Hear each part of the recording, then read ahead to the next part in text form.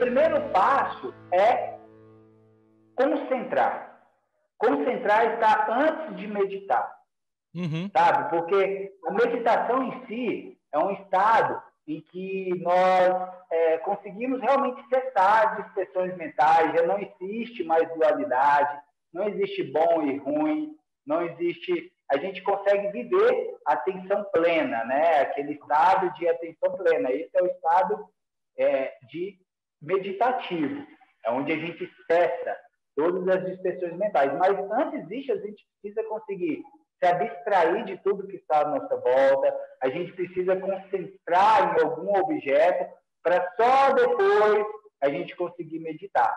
E é importantíssimo essa técnica, porque, Andrei, o quanto é importante nós estarmos é, com atenção no momento presente. Veja bem, nós, é, como atletas, quando você vai para um treino, por exemplo, e você está um pouco disperso, você não passa percebido e você nem assimilou muito bem todos aqueles estímulos, toda a proposta do treino, a intensidade é R3, você faz lá em L4, porque às vezes você está preocupado com algo que aconteceu ou preocupado com o trabalho pós-treino, né? Então, se você faz um treino disperso dessa maneira, com certeza ele é menos eficiente quando você faz um treino totalmente concentrado, totalmente atento naquele momento, né? Uhum. Então, quando a gente vai treinando meditação, quando a gente vai aprimorando essa ferramenta, é natural que esse estado de atenção plena seja mais constante ao longo da nossa vida, ao longo do nosso dia.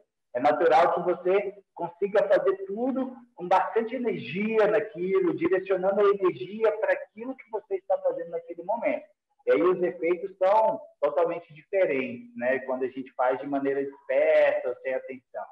Sim, é o primeiro é o primeiro pilar do, do Corrida Perfeita, do nosso método, que é a consciência. A partir de uma mente consciente, a gente consegue desenvolver tudo.